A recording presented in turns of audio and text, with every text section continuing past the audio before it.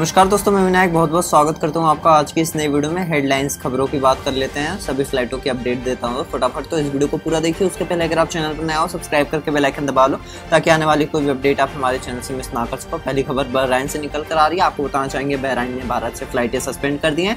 और भारत के साथ साथ और भी काफ़ी सारे देशों से फ्लाइटें सस्पेंड की हैं। अड़ोसी पड़ोसी जो देश है, वहाँ से। ये खबर निकल कर आ रही है यूए की फ्लाइटों से। यूए में अगर आप जाना चाहते हैं तो आप केवल चार्टर्ड उड़ानों का इस्तेमाल करके जा सकते हैं। दूसरी खबर ये है यहाँ पर यूए से कि यहाँ पर जी बैन लगाएगा। जो भी ऑपरेटर्स यहाँ पर पूलिंग कर रहे हैं सीट्स के लिए।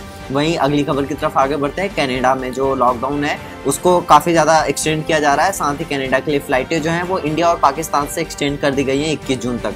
अगली खबर सऊदी अरबिया से निकल कर आ रही है। दोस्तों, आपको बता दें, सऊदी अरबिया ने यहाँ पर इंटरनेशनल ट्रेवल गाइडलाइंस जारी करी हैं सभी वैक्सीनेटेड रेसिडेंट्स के लिए। वहीं अगली खबर, अरुणाचल प्रदेश से निकल कर आ रही है। आपको बता दें, अरुणाचल प्रदेश को भी अब जो नई फ़्लाइट की सर्विसेज़ हैं, वो मिलने लगेंगी। वहीं अगली खबर रिपेट्रेशन फ्लाइटों की है। आपको बता दें, इंडिया से सिंगापुर के बीच में रिपेट्रेशन फ्लाइटें ऑपरेट की जा रही हैं यहाँ पर इंडियन ऑपरेटर्स द्वारा। साथ ही आपको बता दें, करीब 25 पैसेंजर जो हैं, हर दिन आना जाना कर रहे हैं। अगली खबर की तरफ़ आगे बढ़ते हैं। क्यू आर को R T P C R test को लेकर आ रही है। आपको बताना चाहेंगे दोस्तों R T P C R test को क्यू आर कोड रहना चाहिए। इसको मैंडेटरी कर दिया गया है। अगर आप इंडिया से बाहर के लिए यात्रा कर रहे हैं, वहीं अगली खबर की तरफ़ आगे बढ़ते हैं। ऑस्ट्रेलियन एयरलाइंस की तरफ़ से खबर है।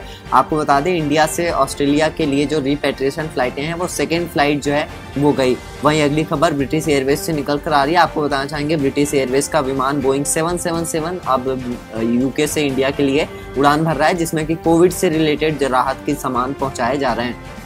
तो ये सारी अभी की लेटेस्ट अपडेट कैसे लिखी आपको कमेंट करके बताइए। अगर आपको कुछ भी सवाल या सुझाव सजेशन है तो आप हमें कमेंट सेक्शन में दे सकते हैं। मैं मिलता हूँ आपसे नेक्स्ट वाली जानकारी के साथ। जय हिंद बंदे मातरम।